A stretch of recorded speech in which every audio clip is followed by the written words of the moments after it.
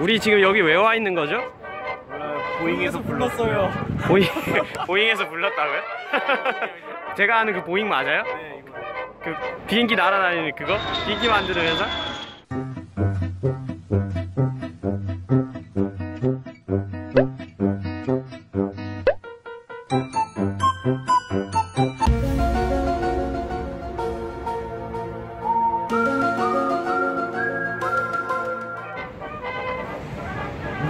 그래서 보스 만나러 들어가가 점심때까지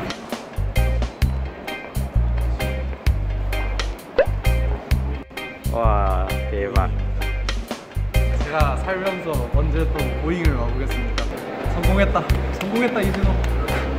어? 본명을 말하시면 안 되는 거 아닌가요? 이 처리해 주세요.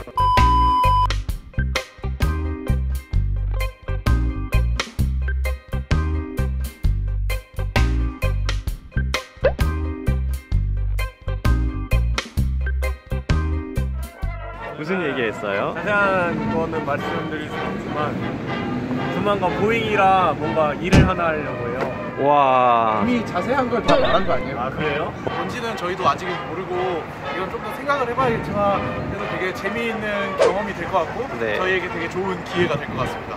야 이걸 살다 보잉도 와보고 이거 오늘 굉장히 재밌었습니다. 굉장히 오. 떨렸어요. 이거 보세요 이거 트럼프 모자 트럼프 모자라니.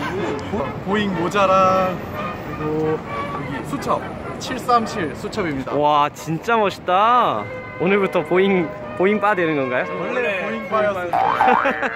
와. 이제 이제 어디 가시나요? 밥 먹으러 가야죠. 아 혹시 광화문 근처에 맛집을 아신다면 댓글로 남겨달라고? 다음에 저희가 올 수도 네, 있으니까 또 오거든요 저희가 다음에. 치는 8,000원, 디너는 12,000원인데 되게 유명한 웨스틴 조선 호텔 아 근데 여긴 예약해야 되나?